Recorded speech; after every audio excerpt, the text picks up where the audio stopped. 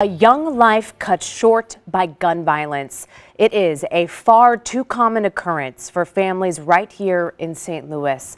Today, loved ones and friends of eight-year-old Journey Thompson gathered for her visitation and funeral. She was shot and killed late last month while leaving a high school football game. Her murder remains unsolved.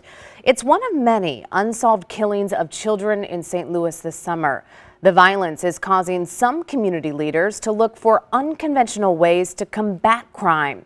New at 10 tonight, Ashley Lincoln shows us how one group is trying to make a difference. These are youth in our area that have been um, killed by guns. They're faces of children under the age of 20, showing the staggering number of kids that have died as a result of gun violence in St. Louis over the years. It shouldn't happen. We shouldn't have this and it's it's time to change. Paige Walden Johnson, director of Community Arts STL, says that's why they're reaching out to the community, intervening with youth to heal trauma that could lead to crimes. What art does and why they need it is because this allows them to express, allow their feelings to come out in a safe manner so they can breathe and think about what they're going to do before they decide to hurt someone else. Saturday, they held a workshop geared towards giving teens outlets to generate discussions about youth mental health. It gets built up, it gets pent up, and it comes out as violence. So far this year, at least 12 kids have died from gun violence. All the kids just dying.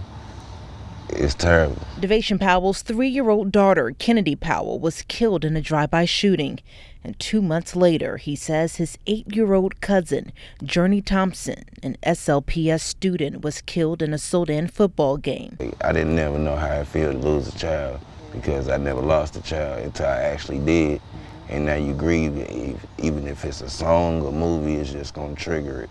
So it's going to have you emotional. St. Louis Metropolitan Police say no arrests have been made in the cases involving children. Last month, city leaders issued a plea to the public for tips offering a Crime Stoppers reward for information, leading to an arrest in these cases. So far, police say no arrests have been made.